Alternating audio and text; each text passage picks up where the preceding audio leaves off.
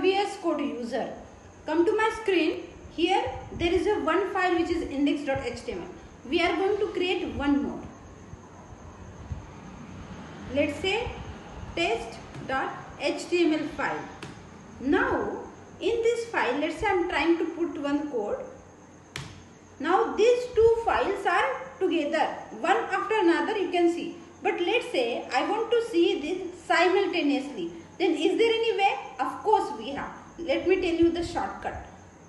Click on view and then go to editor layout. Here you have four options. Actually five.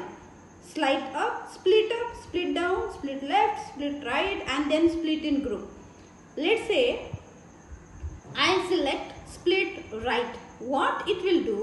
It will split your screen into two different windows like this. See like this.